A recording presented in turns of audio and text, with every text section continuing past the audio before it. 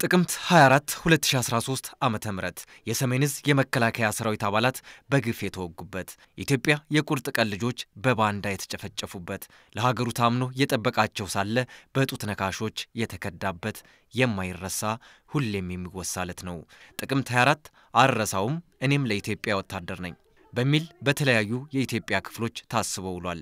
የባህልና ስፖርት ሚኒስቴርም የሀገር መከላከያ ሰራዊት ለኢትዮጵያ ሲሉ የከፈሉትን ዋጋ በመዘከር ዕለቱን በልዩ ልዩ ዝግጅቶች አስቦታል።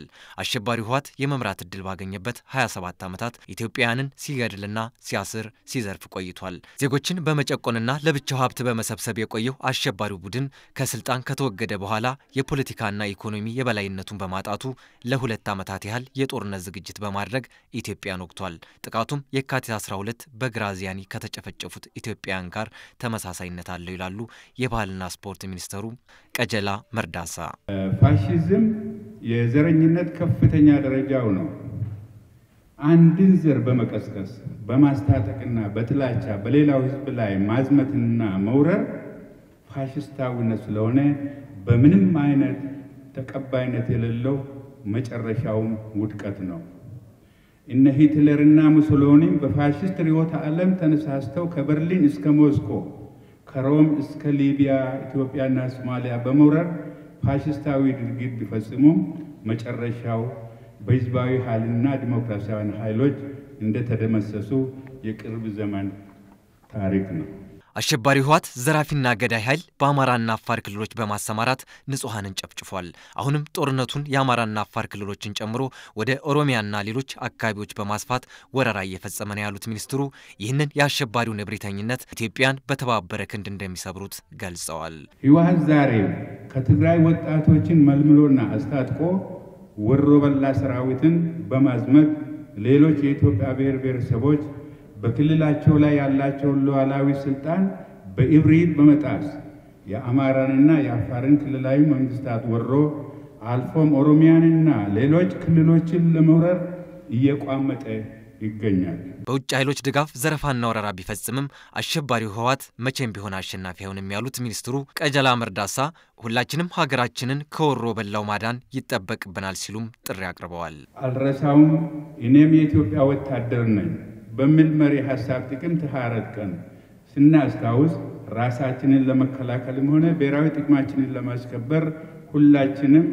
ወታደሮች መሆናችንን አውቀን አገሪቷን ከአደጋ መጠበቅ የዜግነት ግዴታ መሆኑን መገንዘብ ይኖርብናል። መዝመት የሚችለው ወደ ግንባር እንዲተም ሌላው አካባቢውን በንቃት እንዲጠብቅ መልእክት የተላለፈ ሲሆን ዘላቂ ሰላም እንዲፈጠር ሁሉም እድሜው የደረሰ ዜጋ በመዝመት ድሉን ማፋጠን እንደሚገባም ነው የተገለጸው። እኔ የኢትዮጵያ ወታደር ነኝ ብዬ ስነሳ የኢትዮጵያ ወታደር መሆኔን በተግባር ማሳየት መቻል አለብኝ እና ለዚህ ነገር ያንዳንዱ ወጣት እኔ በግሌ እጅግ በጣም ዝግጁ ነኝ።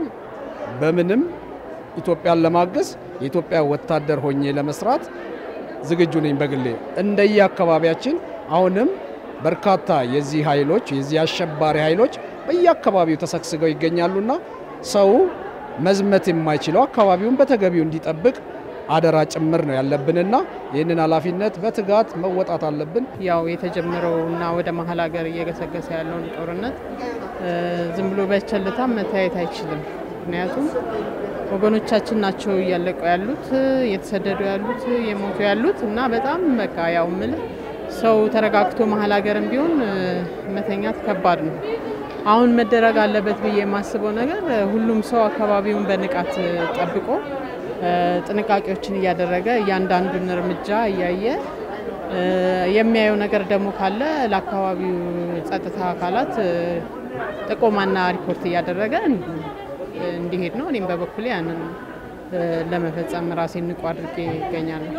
ኢትዮጵያ በቀደምት ጀግኖቿ ታፍራና ተከብራ የኖረች ሀገር ናት። ይኸው የታሪክ አጋጣሚ በአሁኑ ትውልድ ይደገም ዘንድ ዛሬም ልጆቿ በየግንባሩ እየተዋደቁ ይገኛሉ።